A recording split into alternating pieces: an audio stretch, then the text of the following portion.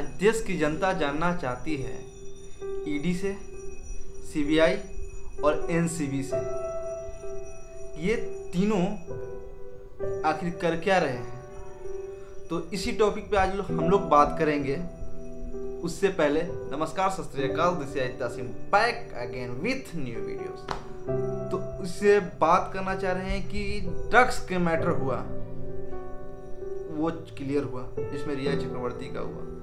जिसमें बॉलीवुड से अभी पूछताछ जारी है या नहीं जारी है, कितना दिन तक ये केस खिंचा कर आगे जाए, बढ़ता जाएगा, ये अभी तक किसी को पता नहीं है। उसके बाद, भाई मैं ये बोलना चाह रहा हूँ कि ये सब बीच में, महाराष्ट्र में मैटर हुआ ड्रग्स का मैटर हुआ जिसमें कंगना रनावत शिवसेना, सब कोई आ गया, ठीक है?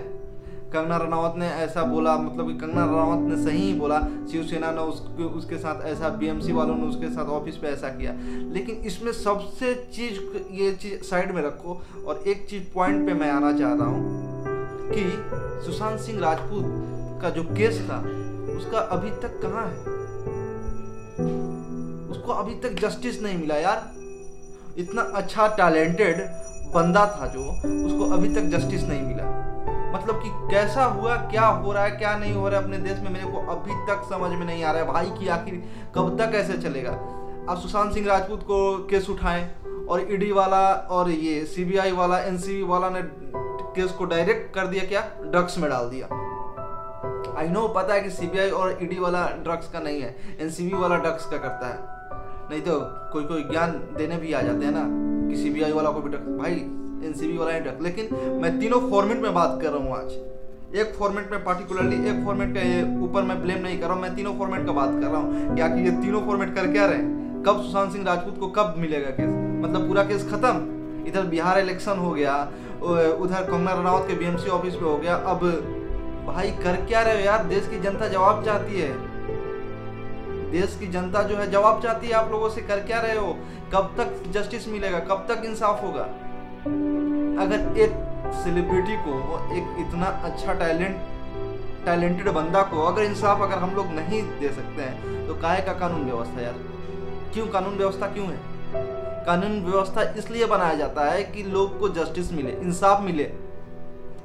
इंसाफ तो मिल नहीं रहा है, यहाँ पे रेप पे रेप हो रहा है। और अभी तक अभी तो नामो निशान नहीं है कोई सोशल मीडिया या कोई ऐसे भी न्यूज़पेपर में अभी नामो निशान नहीं है कि सुशांत सिंह राजपूत के लिए जस्टिस का कोई डिमांड करे। इस वीडियो के माध्यम से मैं बार बार आप लोगों को प्रेस करना चाह रहा हूँ कि नहीं, कि जैसे हम लोग स्टार्टिंग में सुशांत सिंह राजपूत के लिए जस्टिस का डिमांड उठाए थे, वैसे ही फिर से एक बार हम लोग को जोड़ लगाना पड़ेगा। विदाउट पब्लिक के सपोर्ट से कुछ नहीं हो सकता है।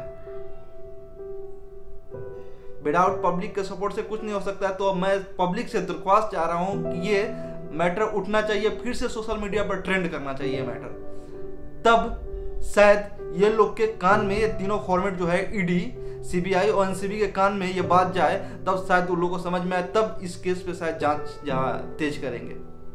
अभी तो लग रहा है ना कि कान में तेल डाल के सो गए हैं लोग। समझ में नहीं आ रहा यार कि अगर ऐसे हम लोग का कानून व्यवस्था रहा देश में तो किसी को इंसाफ ही नहीं मिलेगा। लोग कुछ भी आएँगे करके चल जाएँगे। नेता का बेटा नेता हीरो का बेटा हीरो किस, किसान का बेटा किसान ही बनेगा। क्यों? उसको आईपीएस बनने का शौक नहीं है क्या?